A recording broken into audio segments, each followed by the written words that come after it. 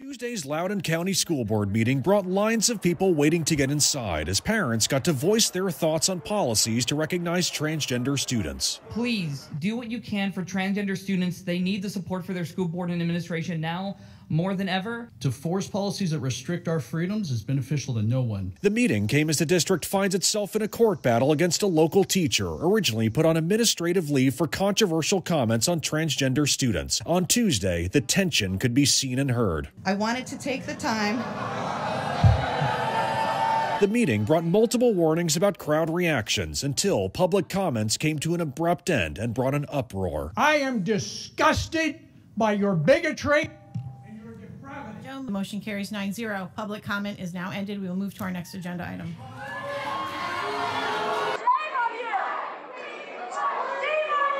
This cell phone video captures the response as some opponents of the transgender policies called for the ouster of some school board members.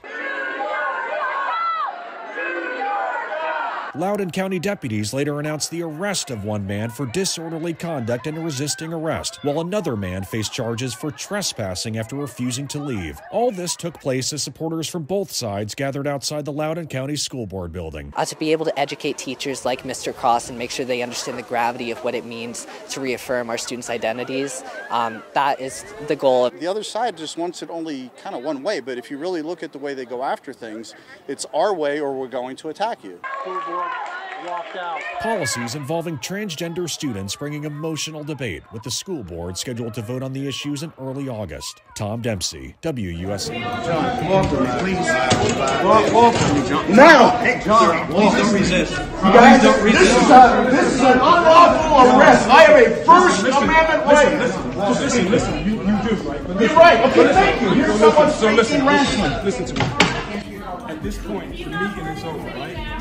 It's not over. Listen, it's listen. not over. We were right. meeting. We were meeting. If you that's a parent there at a school board meeting in Virginia getting arrested while protesting against critical race theory and a transgender policy. Loudoun County in Virginia has been in the headlines the last few weeks after multiple parents were filmed addressing the students' school board on issues they didn't agree with. Today, a school board meeting got out of control when the crowd became rowdy, resulting in two reported arrests and a minor injury for one person. According to Reuters reporter Gabriella Borter, the local county sheriff's office declared the school board meeting an unlawful assembly. Parents were told to get out of the room or they would be trespassing. The meeting was mainly to discuss a proposed policy 8040, which is a transgender protection right for students. In May, a Virginia physical education teacher was suspended from his job for refusing to invoke the policy by using a student's pronouns, citing it was sinning against God. While the teacher was eventually reinstated to his job, it has been widely criticised by Conservative parents, especially when over 250 Loudoun County residents signed up to speak at today's meeting.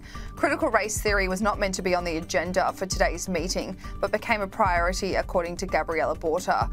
While the crowd became chaotic during proceedings, the board decided to halt public commentary, which angered the crowd who started singing the Star Spangled Banner.